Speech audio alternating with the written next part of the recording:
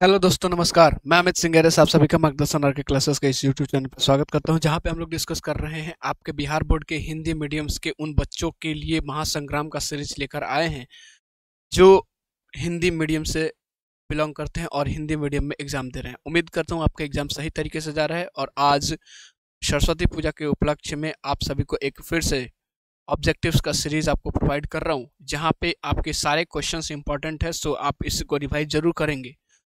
सो so, शुरुआत करते हैं एक 51 प्लस ऑब्जेक्टिव्स का महासंग्राम बिहार बोर्ड के लिए हिंदी मीडियम्स के लिए महासंग्राम का ये सीरीज़ आपके पास बहुत जल्द ही प्रोवाइड कर रहा हूँ।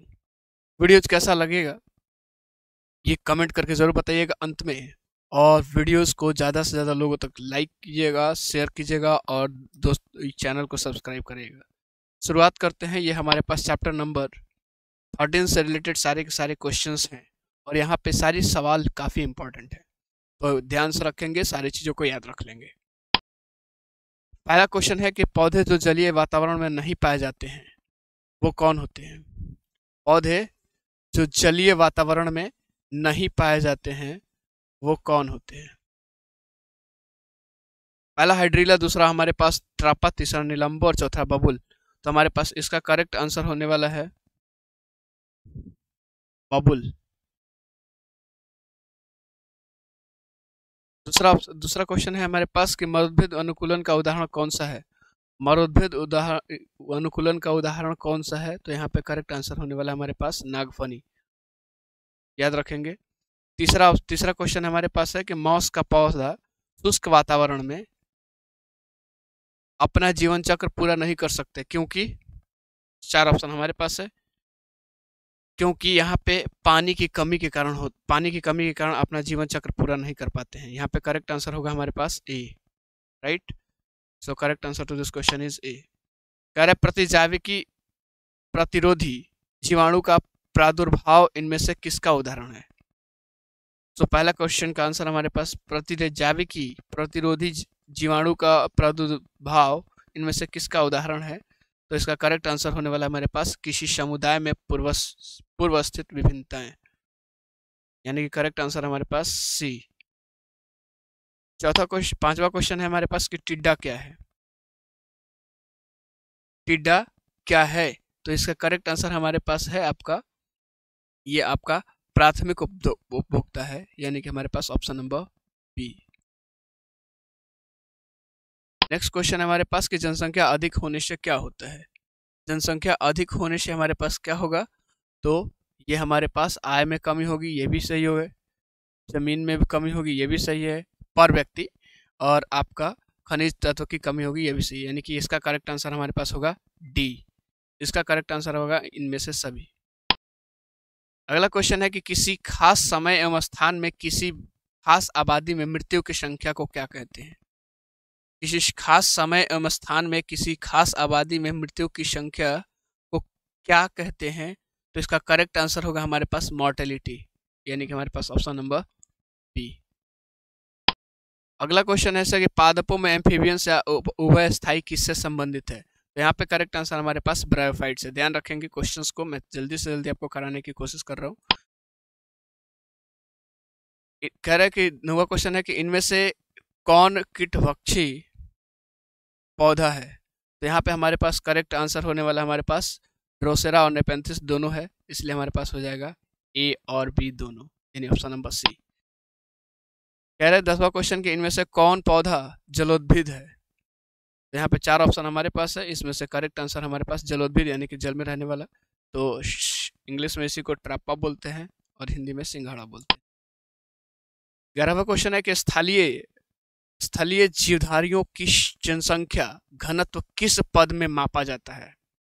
स्थानीय स्थलीय स्थल पर रहने वाले जीवधारियों की जनसंख्या का घनत्व जो है, किस पद से मापा जाता है? चार ऑप्शन हमारे पास है। जीवधारी बटा में मीटर, जीवधारी बटा मीटर, जीवधारी बटा मीटर और जीवधारी बटा में मीटर। यहाँ पे भाई मिस्टेक ऑप्शन सारे चीज़ें एक ही हो चुके हैं सो आप कोई भी ऑप्शन क्लिक करोगे, सारे सही है। राइट यहाँ पे आप कोई भी ऑप्शन सेलेक्ट करोगे, काफ़ी सही है। कह रहे हैं कि जन्म दर सौ प्रतिशत तथा मृत्यु दर दस है। समष्टि समुदाय में एक हज़ार व्यक्ति विशेष है। प्राकृतिक वृद्धि दर कितना प्रतिशत होगा? प्राकृतिक वृद्धि दर कितना प्रतिशत होगा? तो यहाँ पे हमारे पास करेक्ट आंसर क्या होने वाला है? जल्दी से जल्दी बताइए। यहाँ पे नौ परसेंट होंगे। अगला क्वेश्चन है कि कवक मूल एक उदाहरण होता है। किसका? कवक मूल किसका उदाहरण होता है? चार ऑप्शन हमारे पास सिम्बायोटिक बंधुत्व, यानी कि सिम्बायोटिक एसोसिएशन दूसरा चीज़ हमारे पास, बाह्य परजीवी, तीसरा अंतजीवी अंत परजीवी और चौथा अपघटक। यहाँ पे करेक्ट आंसर होगा हमारे पास सिम्बायोटिक बंधुत्व। कह रहे परभक्षण और परजीविता में इस तरह पारस्परिक क्रिया होती है। किस तरह का पारस्परिक क्रिया होता है? Plus plus plus, minus minus, परभक्षण और परजीविता यानी कि होस्ट और ये पैरासाइट्स में। प्लस और ज़ीरो और प्लस, माइनस। सो, इसका करेक्ट आंसर हमारे पास क्या होने वाला है? बहुत ही आसान होने वाला है। प्लस और माइनस। एक का घाटा होने वाला, एक और एक फ़ायदा होने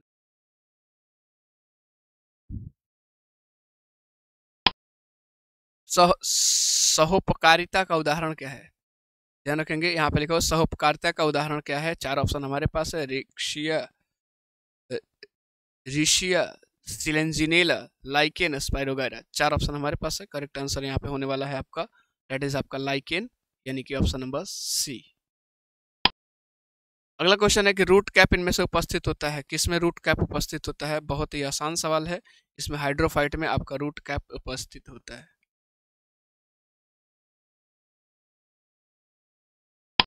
अगला क्वेश्चन है कि गुरुत्व के प्रभाव के विरुद्ध भूमि जो जल की मात्रा संचय करती है, उसे क्या कहते हैं? गुरुत्व के प्रभाव के विरुद्ध जल की मात्रा भूमि जो जल की मात्रा को संचित करती है, उसे क्या कहते हैं?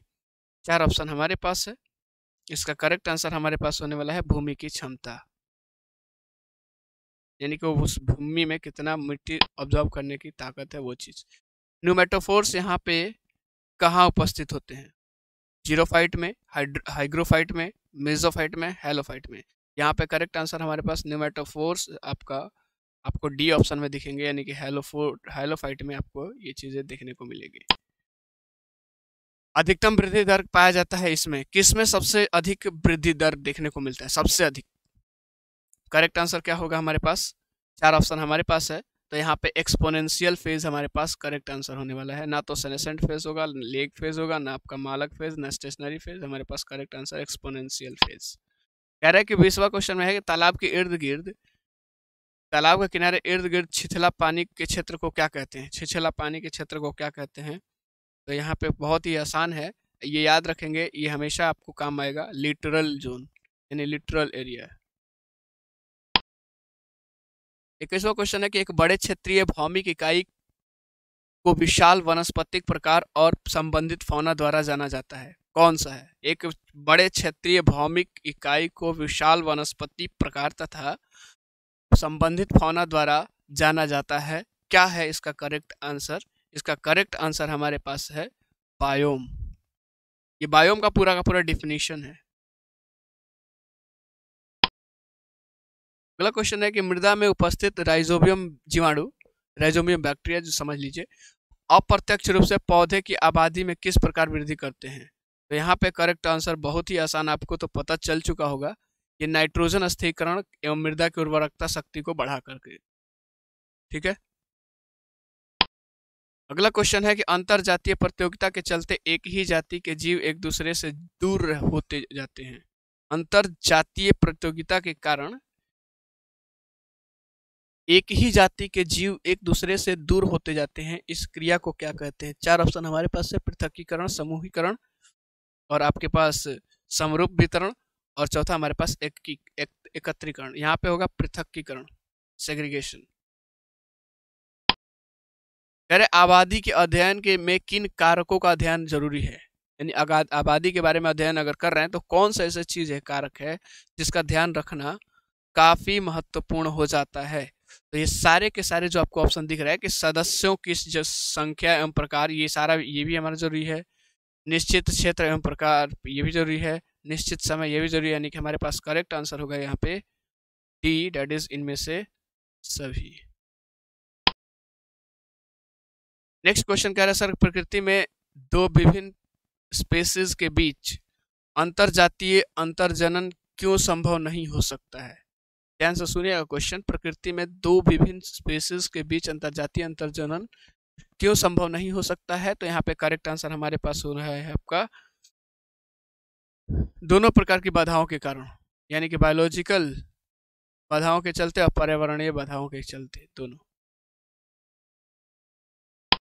अगला क्वेश्चन है कि किन कारणों से आबादी सदा परिवर्तन अप सॉरी किन कारणों से आबादी सदा परिवर्तनशील होती है?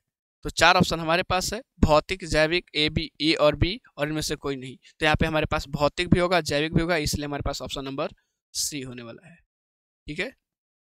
अगला क्वेश्चन हमारे पास है कि किसी आबादी का स्वरूप निर्भर करता है। किस चीज़ पर? तो हमारे पास किसी भी आबादी के निर्भर, अगर ये स्वरूप अगर निर्भर करता है तो हमारे पास वितरण पर भी निर्भर करता है, घनत्व पर भी निर्भर करता है, और जातीय रचना पर भी निर्भर करता है, यानी हमारे पास correct answer to this question is none other than D यानी कि हमारे पास यहाँ पे करेक्ट आंसर होगा डी इनमें से सभी। अट्ठाईसवा क्वेश्चन इसमें से आपसे कह रहे हैं, सर, कि इनमें कौन रसायन आबादी के जीवों के बीच संचार स्थापित करने में मदद करता है? इनमें से कौन रसायन आबादी के जीवों के बीच संचार स्थापित करने में मदद करता है? पहला ऑप्शन हमारे पास स्टाइलिन दूसरा इंजाइम तीसरा फिरोमोना चौथा इनमें से कोई नहीं। तो यहाँ पे क्या करेक्ट आंसर होने वाला है हमारे पास? यहाँ पे करेक्ट आंसर होने वाला है फिरोमोना यानी कि सी नेक्स्ट क्वेश्चन हमारे पास है कि जनन पृथकता आवश्यक है। जनन पृथकता आवश्यक है। पहला हमारे पास ऑप्शन जीवों की अस्तित्व के लिए, विभिन्न जातियों के सुस्पष्टता बनाए रखने के लिए गणित का अनुकलन करने के लिए मृत्यु दर की वृद्धि के लिए। क्या होगा करेक्ट आंसर इसमें से? यहाँ पे करेक्ट आंसर होने वाला हमारे पास विभिन्न जातियों के सुस्पष्टता बनाए रखने के लिए। यानी कि करेक्ट आंसर हमारे पास बी राइट नेक्स्ट क्वेश्चन हमारे पास है कि आबादी का स्थान होता है किसके किसके अकॉर्डिंग हमारे पास स्पेसिस के अधीनस्थ होता है। स्पेसिस पे आपका डिपेंड करता है कि उसकी आबादी क्या होता है। ठीक है? यहाँ पे करेक्ट आंसर स्पेसिस के अधीनस्थ। बत्तीस क्वेश्चन नंबर हमारे पास आ गए सरकार, और जैविक शक्ति का मान निकाला जाता है। जैविक शक्ति का मान किससे निकाला जाता है? जन्म दर से मृत्यु दर घटाकर जन्म दर से मृत्यु दर को जोड़कर जन्म दर एवं मृत्यु दर के भागफल से, और इनमें से कोई नहीं। तो हमारे पास करेक्ट आंसर यहाँ पे हो गया। जन्म दर से अगर मृत्यु दर घटा दिया जाए हमारे पास आपका जैविक शक्ति निकल जाएगा। अगला क्वेश्चन है कि सर आबादी का प्रसरण किन पर निर्भर करता है? तो यहाँ पे हमारे पास होगा, ये सारे के सारे पर निर्भर करता है। आगमन पर भी, बहिर्गमन पर भी, स्थानांतरण परम पर भी। अगला क्वेश्चन है, इनमें से कौन बहुरूपता को दर्शाता है? बहुरूपता को दर्शाता है। चार ऑप्शन हमारे पास है स्पायरोगैरा खजूर मधुमक्खी पपीता तो यहाँ पे करेक्ट आंसर मेरे पास है। सॉरी माई मिस्टेक यहाँ पे करेक्ट आंसर हमारे पास बहुरूपता का मधुमक्खी। ऑप्शन नंबर सी कह रहा कि एक ही जाति के जीवों के सामाजिक, स्थानिक संगठन को क्या कहते हैं? यहाँ पे हमारे पास होने वाला है आबादी। यानी कि correct answer to this question is B कह रहे जैव व्यवस्था में सबसे स्पष्ट इकाई को क्या कहते हैं? सबसे स्पष्ट इकाई को। जैव विविधता में, व्यवस्था में सबसे स्पष्ट इकाई को क्या कहते हैं? यहाँ पे हमारे पास करेक्ट आंसर है, जीव। सबसे अच्छे से दिखता है राइट अंग भी अच्छे से नहीं दिख पाता, उत्तक भी नहीं, कोशिका तो बिल्कुल भी नहीं। कह रहे न्यूमेटोफोर सामान्यतः कहाँ पाए जाते हैं? न्यूमेटोफोर ये सवाल ऐसा ही कुछ आया था, लेकिन थोड़ा सा अलग है, ये सवाल के फॉर्मेट अलग है। और यहाँ पे ऑप्शंस भी अलग है और यहाँ पे करेक्ट आंसर ना तो मरुद्भव न तो जलोद्भिद, न तो मिश्रोफाइट्स और हमारे पास करेक्ट आंसर होगा लवणोद्भिद। लवणोद्भिद याद रखेंगे यहाँ में। अड़तीस क्वेश्चन है कि वायु, आयु संरचना का ज्यामितीय निरूपण किसकी विशेषता है? आयु संरचना। आयु संरचना का ज्यामितीय निरूपण किसकी विशेषता है? तो हमारे पास समष्टि की विशेषता है। ठीक है? अगला क्वेश्चन हमारे पास है सर कि पृथ्वी के निकट का वायुमंडल का क्षेत्र क्या कहलाता है? पृथ्वी के निकट का वायुमंडल का क्षेत्र क्या कहलाता है? तो ये हमारे पास होता है ट्रोपोस्फियर अगला क्वेश्चन हमारे पास है कि लाइकेन किसका समूहन है? लाइकेन किसका समूहन है? यानी किससे किसके मिल करके बना हुआ लाइकेन आपको पता है ये सवाल और कवक का समूहन है। अगला क्वेश्चन है कि जाति की जैविक अवधारणा मुख्यतः आधारित होती है, किस पे? जाति की जैविक अवधारणा मुख्यतः किस पे आधारित होती है? तो हमारे बात करेंगे यहाँ पे, चार ऑप्शन हमारे पास दिख रहा है, लेकिन हमारे पास ऑप्शन होने वाला है केवल प्रजनन की विधि पर। केवल प्रजनन की विधि पे, बाकी सारा चीज़ नहीं है। फोर्टी टू क्वेश्चन नंबर है कि एक छोटी मछली सार्क के आधार पर, यानी कि बेस पर चिपकी रहती है। और इससे भोजन प्राप्त करती है या संबंध क्या कहलाता है? एक छोटी मछली। सार्क के आधार पर चिपकी रहती है और इससे भोजन प्राप्त करती है। यानी कि छोटी मछली जो होती है ना सार्क का जो बेस होता है ना नीचे वाला हिस्सा उस पर चिपकी रहती है और वहाँ से भोजन प्राप्त करती है। इस संबंध को क्या कहते हैं?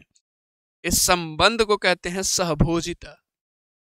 भोजन के लिए साथ है ना इसलिए सहभोजिता। नेक्स्ट क्वेश्चन है कि पौधे जो चट्टानों पर उगते हैं, क्या कहलाते हैं? चार ऑप्शन हमारे पास है। ऑक्सिलोफाइट, लिथोफाइट, एरियोफाइट, हिलोफाइट। क्या होगा करेक्ट आंसर यहाँ पे करेक्ट आंसर हमारे पास है lithophyte right so correct answer to this question is B कह कीटभक्षी पौधे कीटों को खाते हैं। मॉस के लिए मांस के लिए, ऑक्सीजन के लिए, खनिजों के लिए, नाइट्रोजन के लिए। ये सवाल आपको मैंने कितनी बहुत बार बताया है कि वहाँ पे उसको मांस नहीं चाहिए, ऑक्सीजन नहीं चाहिए, खनिज नहीं, वो सारा चीज़ मिल जा रहा है उसको। नाइट्रोजन नहीं मिल पाता, इसलिए नाइट्रोजन को लेने के लिए कीटभक्षी पौधे कीट को खाते हैं। फोर्टी फिफ्थ क्वेश्चन नंबर है, इनमें से कौन कीटभक्षी पौधा है? ये हमारे पास ए और बी दोनों होगा। राइट? एपेंथिस और ड्रॉसेरा दो बार आया है। कह रहा है, जलीय पौधों में कटी फटी पत्तियाँ होती है।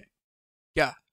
जलीय पौधों में कटी फटी पत्तियाँ क्या होती है? चार ऑप्शन हमारे पास, सतही क्षेत्रफल कम करने के लिए, सतही क्षेत्रफल बढ़ाने के लिए, जलधाराओं का प्रभाव कम करने के लिए और रंध्रों की संख्या बढ़ाने के लिए। तो यहाँ पे, जहाँ पे भी हमारे पास जलधाराओं का प्रभाव कम करने के लिए आएगा तो ये हमारे पास करेक्ट आंसर होगा।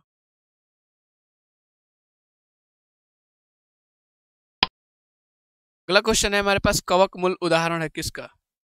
कवक मूल किसका उदाहरण है? ये भी हमारे पास सवाल आया है और इसका भी आंसर हमारे पास होगा सहजीवी संबंध। ठीक है? यहाँ ये भी सवाल हमारे पास आया हुआ है। इससे पहले भी आया था।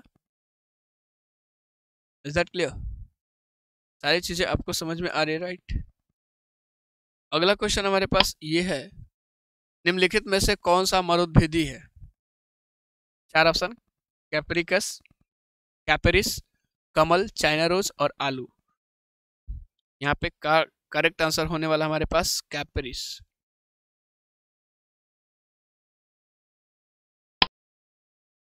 अगला है सर कि वायु द्वारा स्थानांतरित मृदा होती है। क्या होती है? वायु द्वारा स्थानांतरित मृदा क्या होती है? चार ऑप्शन हमारे पास, एल्यूवियल ग्लेशियव कोलुवियल और योलिन तो यहाँ पे हमारे पास करेक्ट आंसर होगा योलिन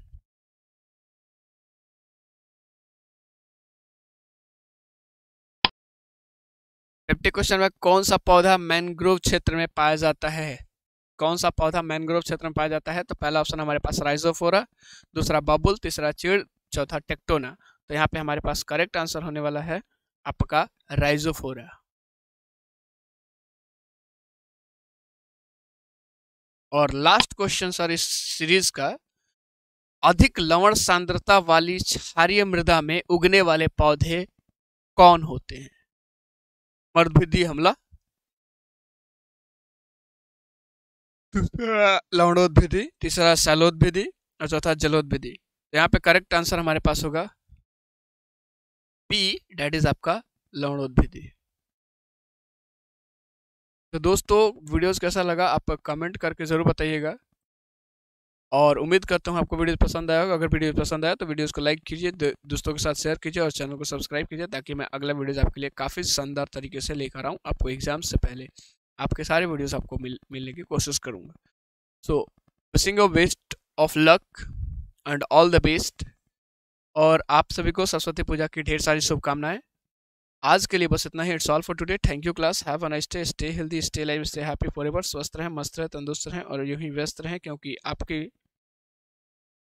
व्यस्तता आपके एग्ज़ाम्स में एक अच्छा रिज़ल्ट दे सकती है। सो so, आज के लिए बस इतना ही। Thank you so much